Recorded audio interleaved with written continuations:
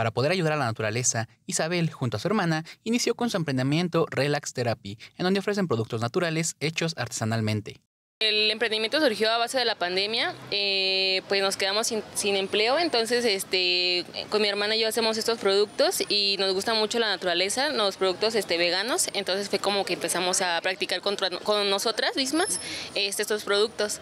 A pesar de ya tener un tiempo en el mercado, las cosas no han sido fáciles, pues han tenido que aprender poco a poco sobre la forma de hacer sus productos sacar el dinero para pues, producir las cositas, los cursos, es, eso es lo que más como que nos ha producido un poquito más de, problemitas, en, en este caso de la marca.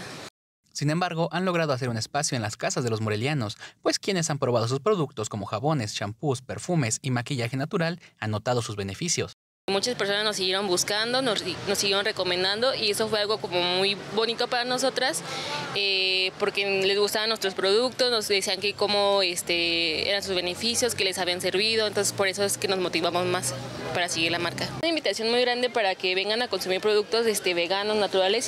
Las puedes encontrar en diversos bazares de Morelia y también en su local, ubicado en Lomas de Guanyagareo, calle Pichátaro, número 271, así como en sus redes sociales como Relax Therapy.